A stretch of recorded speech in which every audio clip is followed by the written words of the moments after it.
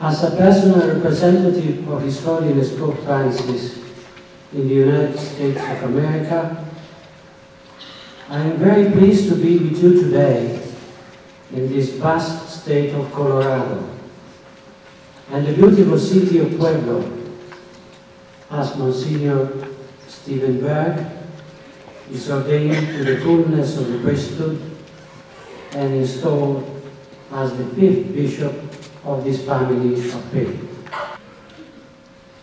Your Excellency, Bishop-elect Berg, on this truly important day in your life and in the history of the Diocese of Pueblo, we fervently beseech the abundant gift of the Holy Spirit upon you and the ministry you are about to undertake. And now, I will read for you a translation in English of the Apostolic Letter of Appointment.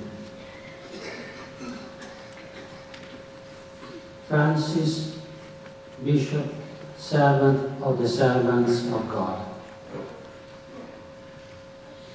To our beloved son, Stephen Berg, presbyter of the Diocese of Fort Worth, and up to now is diocesan administrator, but at this time appointed Bishop of Pueblo. Greetings and apostolic blessing.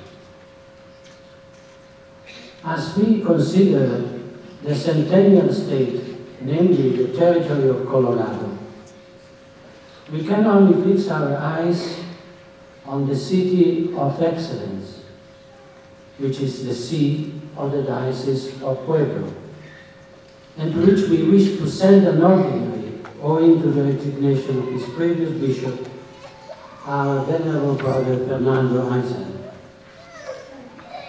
Moved by this desire, we turn our attention to you, beloved son, for thus far you have exercised your priestly ministry capably and attentively, and in addition have faithfully governed the Diocese of Fort Worth in his, as its diocesan administrator.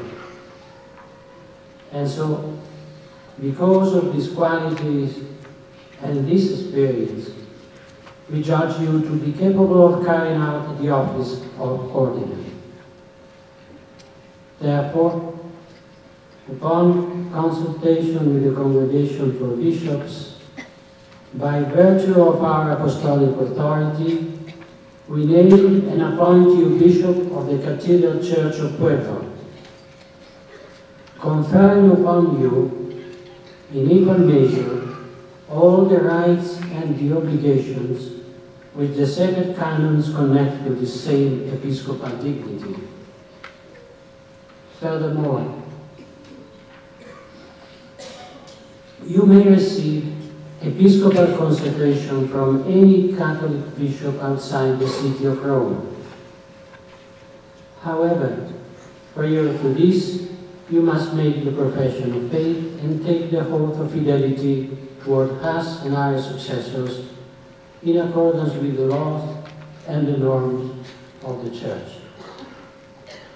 Moreover, you must inform in an appropriate manner the clergy and all the faithful about this our decision.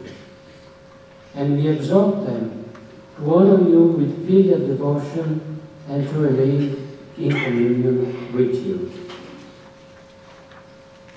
Finally, we beloved son, as you go for, from Fort Worth to the Colorado desert lands, allow yourself to draw from those leaded plants the Holy Spirit and to imitate there the herald of Christ who would cry out in the wilderness in order that those who are at distance may hear and understand from the loudness of the sound of your voice the vastness of the thing spoken of. Given at Rome, at St. Peter's on the 15 days of the month of January in the year of the Lord 2014, the first of our pontificate, Francis, our Pope.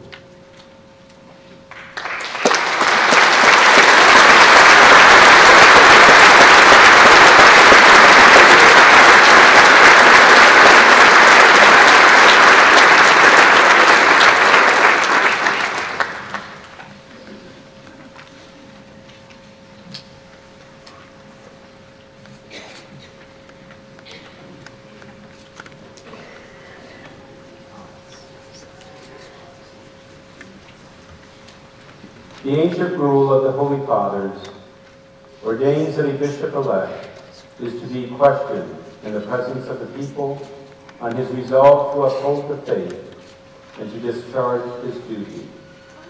And so, dear brothers, you resolve by the grace of the Holy Spirit to discharge until death the office entrusted to us by the apostles, which we are about to pass on to you by the laying on of our hands. I do.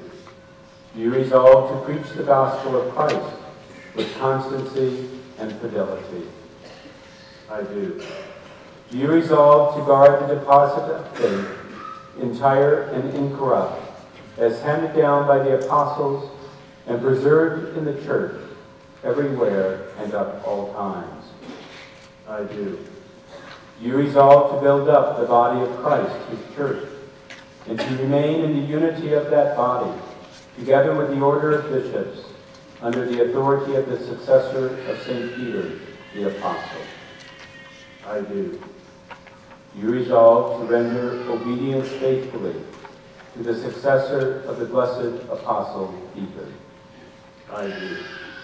You resolve to guide the holy people of God in the way of salvation as a devoted father, and sustain them with the help of your fellow ministers, the priests and deacons. I do. You resolve for the sake of the Lord's name to be welcoming and merciful to the poor, to strangers, and to all who are in need. I do. You resolve as a good shepherd to seek out the sheep who stray and gather them into the Lord's fold. I do. Do you resolve to pray without ceasing to Almighty God for the holy people and to carry out the office of high priest without reproach? I do, with the help of God. May God, who has begun the good work in you, bring it to fulfillment. Amen.